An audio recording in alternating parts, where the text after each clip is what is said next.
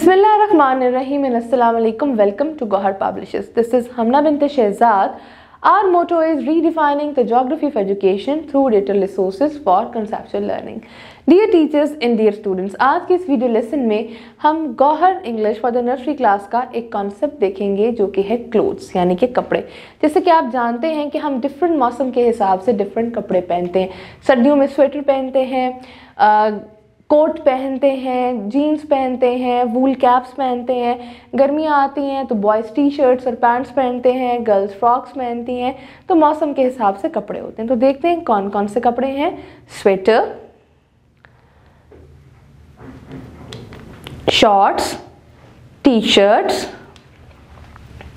jacket coat shirt vest frock and socks. Page one, ten पे आप देख सकते हैं बुक के। Sweater, shorts T shirt jacket, coat, shirt, vest, frock and socks. इसी तरीके से अब अगला कॉन्सेप्ट हम देखेंगे, things and home.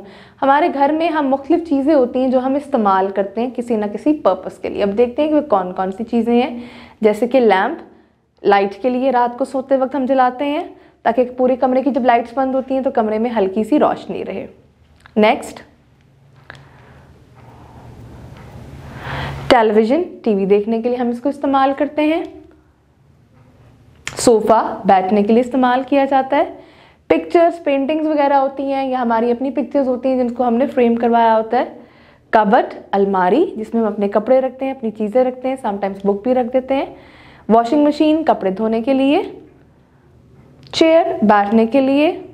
Pail this is called Urdu में इसको बाल्टी कहते हैं, इसमें आप कुछ चीज़ें रख सकते हो, कुछ लोग इसमें आटा वगैरह स्टोर करके भी रखते हैं, नहाने के लिए पानी भी रखते हैं डिफरेंट पर्पज़ के लिए इस्तेमाल होती है।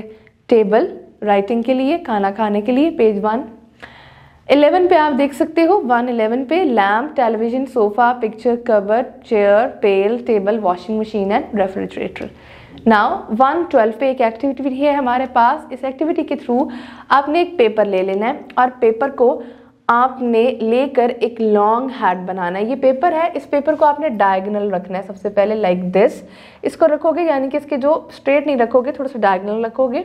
उसके बाद इसको सेंटर से करके आप कर लोगे फोल्ड फोल्ड करने के बाद आप इसकी डॉटेड लाइन को फिर एक बार फोल्ड करोगे और फिर उसके बाद आप इसको एक बार अगेन फोल्ड करोगे डॉटेड लाइन से। जितनी भी डॉटेड लाइंस आ रही हैं, उसको फोल्ड करके फाइनली आपका ये हेड बनेगा। आप किसी भी कलर का बना सकते हो green yellow pink black white जो भी लॉन्ग हेड आपको जो भी कलर का चाहिए, उस कलर का आप कलर पेपर लोगे। और बनाने के बाद आप यहाँ पर पेस्ट करोगे। आई होप आपको आज का वीडियो लेसन पसंद आया होगा। एक नए वीडियो लेसन के साथ हम फिर मिलेंगे। तब तक के लिए अल्लाह हाफिज़।